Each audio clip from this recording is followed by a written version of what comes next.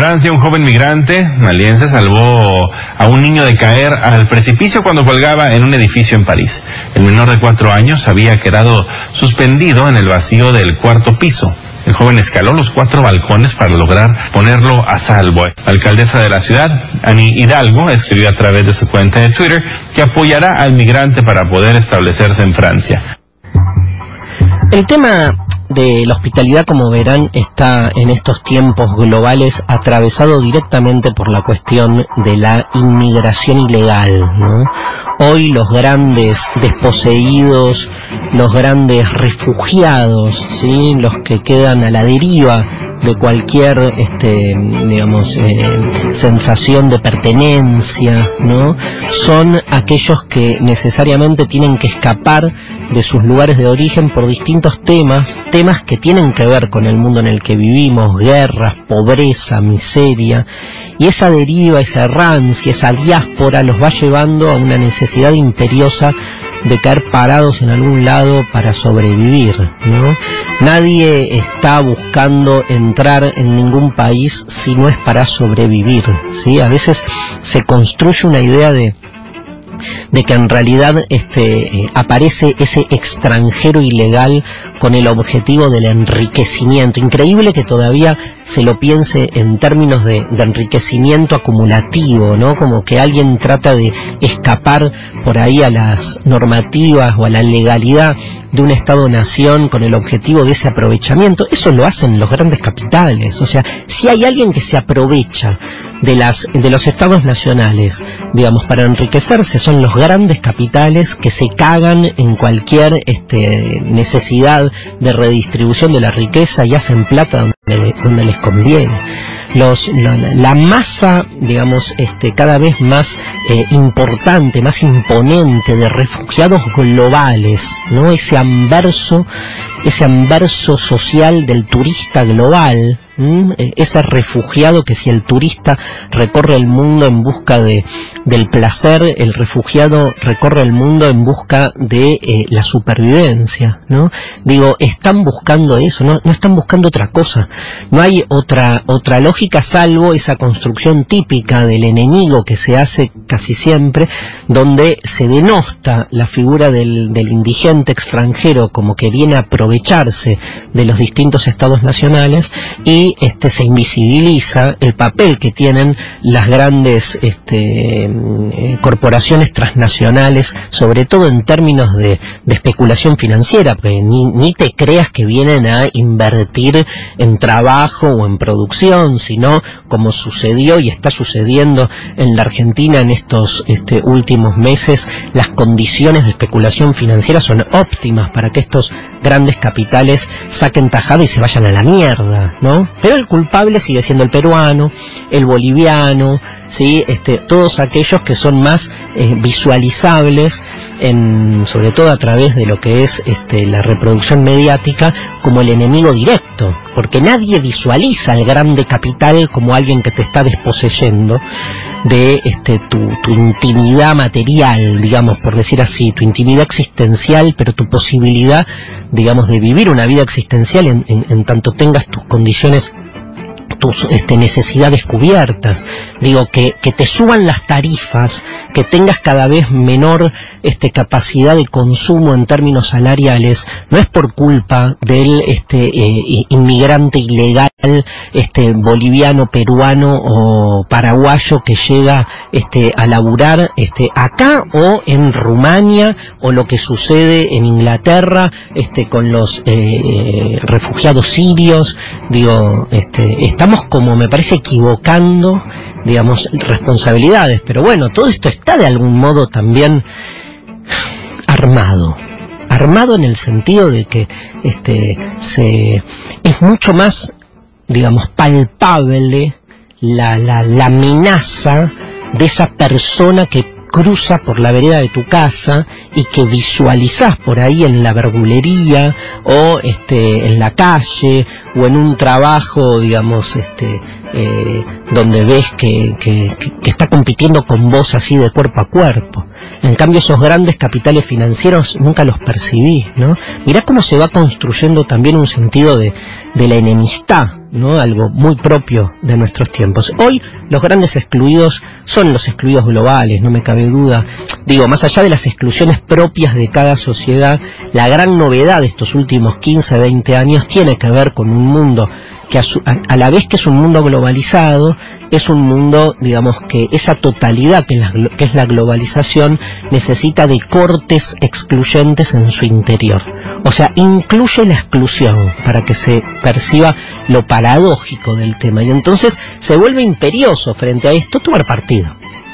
O sea, lo que hay es una cada vez mayor eh, afluencia de posiciones eh, fundamentalistas de lo propio. ¿A qué llamamos fundamentalismo de lo propio? A creer que hay un derecho particular que busca luego siempre como legitimarse conceptualmente y que va directamente ligado a lo territorial, ¿no? A lo nacional. Muy loco, porque puede ser lo nacional, puede ser lo étnico, puede ser lo regional, pero hay una idea post-biológica, si me permiten, de pertenencia comunitaria, ¿no? Como que hay una prioridad que busca luego justificarse en mitos fundantes de algún tipo de vínculo sanguíneo, no sé cómo llamarlo, y que hace que entonces este, lo propio tenga que ver con aquello que se comparte cuasi como una familia.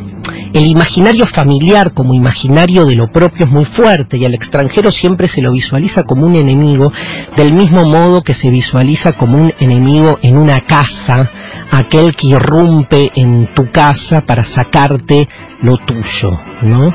Este, o para no llegar a ese extremo, cualquier presencia de un agente externo, este, la novia del tío Mario, ponele, es visualizada como una amenaza.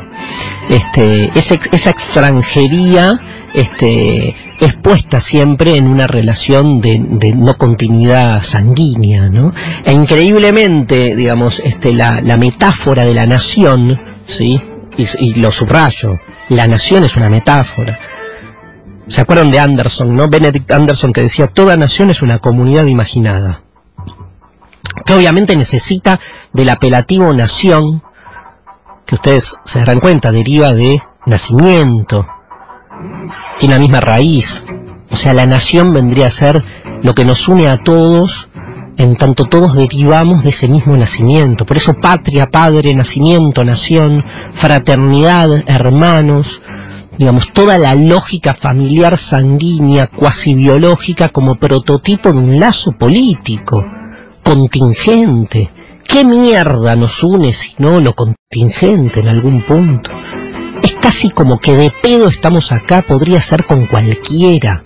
No hay mayor argumento para justificar este, nuestra pertenencia a algo común por convivir en un territorio de mierda, que puede ser este, puede ser el otro, la frontera la podés desplazar 10 kilómetros para acá, para allá y da igual. ¿Qué, necesidad de estar construyendo humanidad siempre de manera excluyente, ¿no? Es, como imposible este, poder convivir con la diferencia. La hospitalidad es básicamente una política de apertura.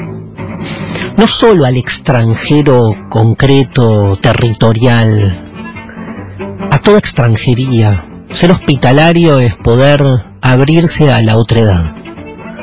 O sea, hay, hay como en principio una postura eh, excluyente, eh, propista, por llamarla así, que es aquella que se encierra en lo propio. La postura de la mismidad, diría Emanuel Levinas, en un librazo que se llama Totalidad de Infinito. El primer capítulo creo que es diferencia lo mismo de lo otro. Digo, la política de la mismidad, encerrarse, ensimismarse en lo propio, en lo que se repite siempre lo mismo, de ahí viene identidad, les cuento, como, digamos, algo superior o auténtico, más verdadero. El tema es quién queda fuera, ¿no? De quién me diferencio, porque si hay identificación con lo propio, con lo mismo, es porque me diferencio de otro. Esa diferenciación suele ser en, general jerárquica, o sea, se suele colocar al otro en un lugar eh, secundario, negativo. Ahora, este, el tema es que hay, digamos, una insistencia ética en que, en, esa, en que esa relación con el otro no sea tan chota. ¿Cómo no ser choto en la relación con el otro? Bueno, aparece en Occidente un término bastante problemático que es la idea de tolerancia.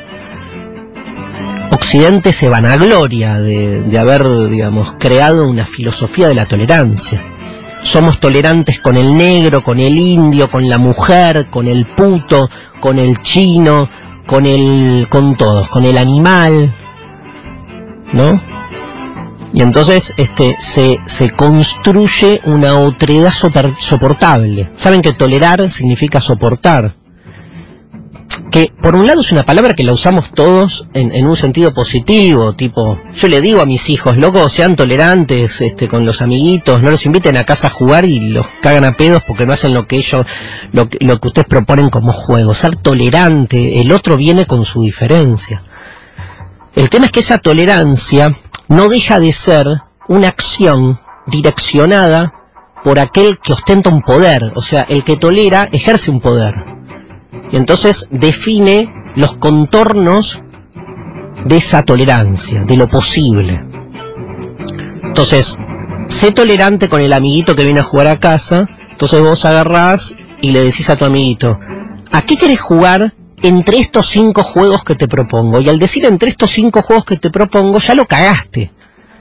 Porque la tolerancia es no a qué querés jugar, sino a qué querés jugar de los cinco juegos que previamente yo admito como juegos posibles.